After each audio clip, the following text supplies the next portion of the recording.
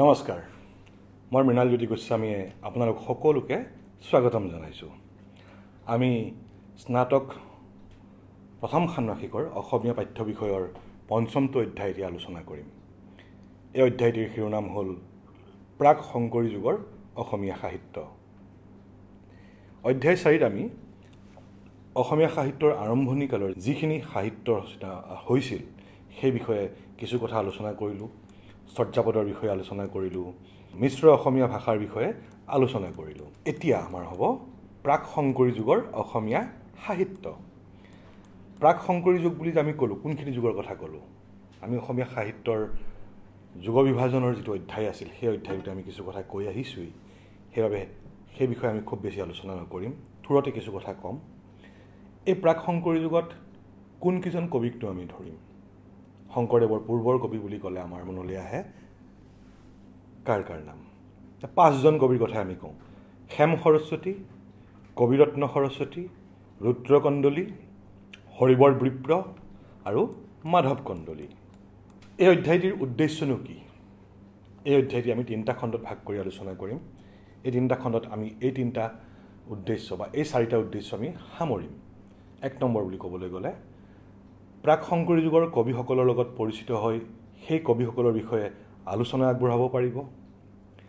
এই যুগত কোন কোন কবিয়ে কি কি কাব্য ৰচনা কৰিলে সেই বিষয়ে ব্যাখ্যা আগবঢ়াব পাৰিব? এই যুগত ৰচিত কাব্যৰাজিৰ বিশেষত্ব সম্পৰ্কে অৱগত হ'ব। আৰু অসমীয়া সাহিত্যৰনো কোনখিনি সময়ক প্ৰাক শংকৰী যুগৰ সাহিত্য বুলি কোৱা হয় সেয়া নিৰ্ণয় কৰিব পাৰিব। উদ্ভৱকালৰ অসমীয়া সাহিত্যৰ পিছতে অসমীয়া সাহিত্যৰ বুৰঞ্জীৰ মধ্যযুগ আৰম্ভ হৈছে। মধ্যযুগীয় অসমীয়া সাহিত্যক প্ৰাক শংকৰী যুগ শংকৰী যুগ আৰু শংকৰোত্তৰ যুগ নামেৰে তিনিটা ভাগত ভগাব পাৰি। মন কৰিব এই যে প্ৰাক শংকৰী শংকৰী আৰু শংকৰোত্তৰ যুগৰ কথা ক'লোঁ এই যুগত এই যুগ বিভাজনটোৰ নামবিলাক সকলোৱে বেলেগে বেলেগে উল্লেখ কৰিছে। এই বিষয়ে আপোনালোকক কিছু কথা ইতিমধ্যে কৈ অহা হৈছে। এই অধ্যায়টোত আমি এতিয়া যিটো অধ্যায় আৰম্ভ কৰিছোঁ। এই অধ্যায়টোত প্ৰাক শংকৰী যুগৰ অসমীয়া সাহিত্যৰ বিষয়ে আলোচনা কৰিম। মানে প্ৰাক শংকৰী যুগ বুলি আমি ক'লে ক'ম বুজি পাম এটাই যে অসমীয়া সাহিত্যৰ বুৰঞ্জীৰ মধ্যযুগ আৰম্ভ হৈছে আৰু মধ্যযুগৰ প্ৰথম ভাগটো। পাঁচজন কবি আছে কাব্য সাহিত্যৰ যুগ। এই পাঁচজন কবিৰ কি কিনো কাব্য সৃষ্টি কৰিছিলে তেখেতসকলে। ৰামায়ণ মহাভাৰত আদিৰ বিষয়বস্তুক লৈ ভালেখিনি কাব্য ৰচনা কৰিছিল। আৰু এই পাঁচজন কবিক লৈ এই যুগটো সৃষ্টি হৈছে। প্ৰাক শংকৰী যুগ বুলি ক'লে আমি কোনখিনি সময় ধৰিম? যে আমি আৰম্ভণিৰ সময় যদি হেম সৰস্বতীক ধৰোঁ তেতিয়াহ'লে তেওঁৰ সময়ৰ পৰা শংকৰদেৱৰ জন্মৰ সময়লৈকে বা সেই সময়ছোৱাত তেৰশ চনৰ পৰা চৈধ্যশ নব্বৈ এই সময়ছোৱাত ৰচিত পুথিখিনিক আমি প্ৰাক শংকৰী যুগৰ সাহিত্য বুলি কওঁ। মন কৰিব যে আগৰ বা পাছৰ ৰজাসকলৰ দৰেও এই যুগতো যিসকল ৰজা আছিল তেখেতসকলে অসমীয়া সাহিত্যৰ শ্ৰী শ্ৰীবৃদ্ধিৰ বাবে পৰিপুষ্টিৰ বাবে পৃষ্ঠপোষকতা কৰিছিল কবি সাহিত্যিকসকল। কমতাপুৰৰ মহামাণিক্য দুৰ্লভ নাৰায়ণ তাম্ৰধ্বজ আদি ৰজাৰ পৃষ্ঠপোষকতাত এইসকল কবিয়ে কাব্য ৰচনা কৰিছিল বুলি আত্মপৰিচয়ত উল্লেখ কৰি গৈছে। আৰু তেওঁলোকৰ সময়সীমা আছিল আমি উল্লেখ কৰা সময়ছোৱাতেই। প্ৰাক শংকৰী যুগৰ ভিতৰত আটাইতকৈ অন্যতম এগৰাকী কবি হ'ল হেম সৰস্বতী। তেওঁ দুখন পুথি ৰচনা কৰিছিল প্ৰহ্লাদ চৰিত আৰু সৰগৰি সংবাদ।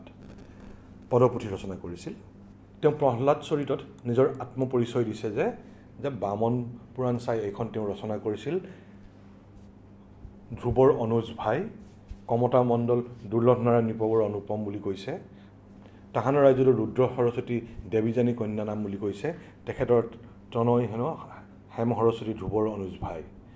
পদবন্ধে তোহে প্ৰচাৰ কৰিলা বামন পুৰাণ চাই। এই যে আত্মপৰিচয়টো দিছে তেওঁ কমলা কমতাপুৰ ৰাজ্যৰ ৰজা দুৰ্লভ নাৰায়ণৰ দিনত ৰুদ্ৰ সৰস্বতী দেৱযানীৰ পুত্ৰ আৰু ধ্ৰুৱৰ ভায়েক হেম সৰস্বতীয়ে বামন পুৰাণ চাই প্ৰহ্লাদ চৰিত ৰচনা কৰিছে বুলি উল্লেখ কৰি গৈছে। আন এখন কাব্য সৰগৰি সংবাদতো তেওঁৰ আন এটা নাম হেমন্ত আৰু পিতাকক সৰ্বশাস্ত্ৰ পণ্ডিত সুজন বুলি উল্লেখ কৰি গৈছে। এই ভনিতাটোত আচলতে হেম সৰস্বতী ৰুদ্ৰ সৰস্বতীৰ সন্তান নে দেৱযানীৰ এইটো স্পষ্ট নহয়। দেৱযানী যদি ৰুদ্ৰ সৰস্বতীৰ কন্যা তেন্তে হেম সৰস্বতী আৰু ধ্ৰুৱ ৰুদ্ৰ সৰস্বতীৰ নাতিহে। কিন্তু হৰবৰী সংবাদ নামৰ আন এখন অপ্ৰকাশিত গ্ৰন্থত এনেদৰে উল্লেখ কৰিছে যে ভূপ দুৰ্লভ নাৰায়ণ পাত্ৰ পশুপতি সুত সৰ্বশাস্ত্ৰে পণ্ডিত সুজন তাহাৰ তনয় চাৰি ধনঞ্জয় আদি কৰি ধ্ৰুৱ ভৈলক কুলত প্ৰধান। অপৰ হেমন্ত কবি সৰকৰি পথ সেৱী হেম সৰস্বতী ভৈলাৰ নাম।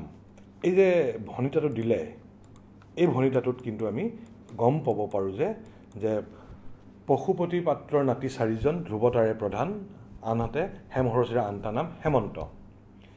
এই ভনিতাভাগী বিশ্লেষণ কৰি কৈছে পশুপতি পাত্ৰৰ পুত্ৰ সম্ভৱতঃ ৰুদ্ৰ সৰস্বতীয়ে। আৰু পশুপতি আৰু ৰুদ্ৰ সমৰ্থক শব্দ দুটা। সেইবাবেই ৰুদ্ৰ সৰস্বতীক উল্লেখ কৰিছে নেকি বুলি হেম সৰস্বতীয়ে নিজকে কৰিছে নে হেম সৰস্বতীয়ে নিজকে উল্লেখ কৰিছে সেইটো বুজা কঠিন হৈ পৰিছে। তাৰমানে সেই পুৰণি দিনৰ বংশচৰিতবোৰ নাছিল আজিও আজিকালিও আমাৰ মানুহবোৰে গমেই নাপায় কাৰ চন জন্ম চন কেতিয়া বহুতৰে আগৰ মানুহখিনিৰ নতুনখিনিতো জানেই বাৰু সেইবাবে ধৰিব পৰা নাছিল। সেইবোৰ আলোচায়াময় তাৰমানে হৈ থাকিল। তেওঁ ৰচনা কৰা প্ৰথমখন পুথিৰ নাম হ'ল প্ৰহ্লাদ চৰিত। বামন পুৰাণ চাই এশটা পদত প্ৰহ্লাদ চৰিত নামৰ এখন কাব্য ৰচনা কৰিছিল। সৰু বৰ্ণনামক কাব্য দানৱৰাজ হিৰণ্যকশিপুৱে পুতেক প্ৰহ্লাদক বিষ্ণু ভক্তি আচৰণ কৰাৰ বাবে কেনেদৰে উৎপীড়ন কৰিছিল আৰু শেষত নৰসিংহৰূপী বিষ্ণুৰ হাতত হিৰণ্যকশিপু কেনেদৰে মৃত্যু লাভ কৰিলে সেই বিষয়ে ইয়াত বৰ্ণনা কৰিছে। আৰু বৰ্তমানলৈকে প্ৰাপ্ত আৰু প্ৰকাশিত বামন পুৰণৰ কাহিনীটো কিন্তু এনেধৰণে নাই। আৰু সম্ভৱতঃ সেইকাৰণে কয় সম্ভৱতঃ বামন পুৰাণ চাই কৰিছোঁ বুলি কৈছে যেতিয়া সেই সময়ত চাগৈ এনেকুৱা ধৰণৰ কথা উল্লেখ থকা বামন পুৰাণ এখন প্ৰচলিত আছিল আৰু সি বৰ্তমান লুপ্ত হৈ গৈছে। আৰু সেই লুপ্ত মহাপুৰাণৰ পৰাই কবিয়ে বিষয়বস্তু গ্ৰহণ কৰিছে। বিষয়বস্তুৰ বৰ্ণনা বৰ ৰসাল নহয় চন্দও বৰ উৎকৃষ্ট ধৰণৰ নহয় বুলি কৈছে। কিন্তু তথাপি ঘৰুৱা উপমা পতন্ত্ৰৰ প্ৰয়োগ আছে। কুজিলেকৰ ৰজায়ে পুত্ৰৰ শুনিবাণী তোলাটো লাগিলে যেন প্ৰচণ্ড গণি তোলা জুই তেনেকৈ জ্বলি যায় সেই কথাটো উল্লেখ কৰিছে। সেইদৰে পতন্তৰ মুহুৰ বংশৰ উপজিত ধূমকেতু বৰ্ণনাৰ অতিৰঞ্জনা আছে। ইয়াত বিষ্ণুভক্তিৰ মাহাত্ম আৰু তত্ত্বমূলক উপদেশ আছে। মন কৰিবলগীয়া যে তেওঁ অসুৰৰ শাস্ত্ৰক বামনাই আখ্যা দিছে আৰু ষষ্ঠী সাধামন্ত্ৰ উল্লেখ কৰিছে। বিষ্ণুনাৰায়ণক প্ৰণিপাত জনাই বায়মনায়ৰ শাস্ত্ৰ উপাসকসকলৰ বিৰুদ্ধে বৈষ্ণৱ প্ৰদাৰ বিষয় কীৰ্তন ঘোষণা কৰিছে। সেইকাৰণে কালিৰাম মেধি ডাঙৰীয়াই তেখেতে কৈছে প্ৰহ্লাদ চৰিতক বৈষ্ণৱ ধৰ্মৰ প্ৰথম অসমীয়া পুথি উল্লেখ কৰিছে। কবিৰ বিশেষ প্ৰতিপত্তি দেখা নাযায় সূক্ষ্ম কলাবোধ বা সুদূৰপ্ৰকৃতিৰ পৰিচয় ইয়াত পোৱা নাযায়।